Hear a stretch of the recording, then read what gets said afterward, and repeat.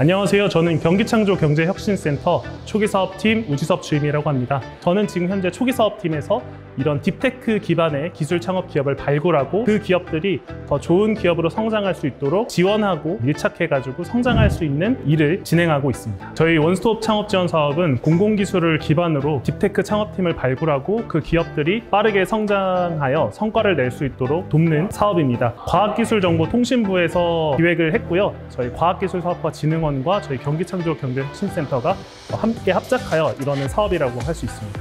저희가 단기간이라고 할 수 있는 6개월 정도의 기간 동안 나름 큰 성과를 거두었는데요. 저희가 일단 투자는 어, 클럽딜을 통해서 1개사에 5억 원 투자를 진행하였고요. 그다음에 저희가 매출은 한 3억 원 정도, 또 고용 인원 한 8명 정도 이렇게 발생을 하게 되었습니다. 저희가 이번 연도는 이제 첫 기업에 대해서 이제 사업 토대를 구축하는 기간이었다고 한다면 저희가 내년에는 토대가 구축된 기업을 더 좋은 기업으로 성장하게끔 저희가 더 밀착하여 전폭적인 지원을 할 예정입니다.